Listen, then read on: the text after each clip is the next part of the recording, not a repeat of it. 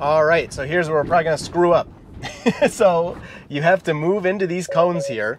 I'm here, yep. And once we, oh wow, it really figured it out. Oh my gosh, that was, oh my gosh, it's doing it so well.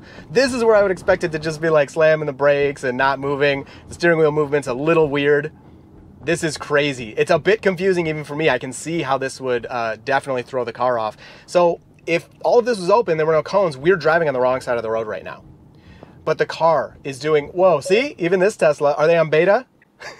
I'm gonna ask them. I'm gonna ask them if I can. okay, don't go through the red light now. Let's stop it right there. Okay, they don't. They, they just took off. They're like, screw this. So we should be. Oh no, you go straight. Okay. Wow, I cannot believe it. So that was. It could have been beta driving. I don't know. I assume it was a human. Um, it's hard to tell, but I'm just. I'm giddy that it's doing this well at these cones. So.